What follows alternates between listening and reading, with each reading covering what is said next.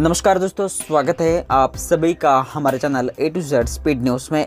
दोस्तों, कौन बनेगा करोड़पति 14 के बीते एपिसोड में देहरादून की रहने वाली वैष्णवी कुमारी हॉट सीट पर बैठी, जो पेशे से कंटेंट राइटर और रिपोर्टर है, साथ ही दिल्ली में जॉब करती है। वैष्णवी कुमारी सीज़न की सबसे छोटी कंटेस्टेंट है, वह चेस भी खेल चुकी है, जिसके बारे में जानने के बाद भी बिग बी ने उन्हें बुद्धिमान भी कहा था, और वाकई उन्होंने सारे गेम को भी अच्छे से खेला भी। लेकिन बारह लाख पचास हज़ार रुपए के सवाल पर गलती कर बैठी। अमिताभ बच्चन ने कंटेस्टेंट से बारहवें यानी बारह लाख पचास हज़ार रुपए के लिए सवाल किया।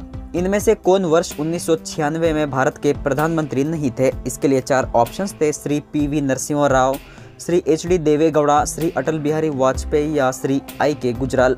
इस सवाल का सही जवाब है श्री आई के गुजराल।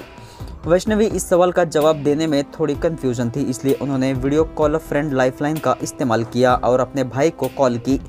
उनके भाई ने दूसरे ऑप्शन को सही बताया। हालाँकि वह इस जवाब को लेकर कंफर्म नहीं थे। वैष्णवी ने भाई के द्वारा दिए गए जवाब को लॉक कर दिया, लेकिन ये गलत जवाब निकला। वह बारह लाख पचास हज़ार रुपए जीतने से तो चुक गई, लेकिन तीन लाख बीस हज़ार रुपए लेकर घर गई। दोस्तों, वैष्णवी के लिए इस वीडियो को दिल से एक लाइक ज़रूर कीजिए। धन्यवाद।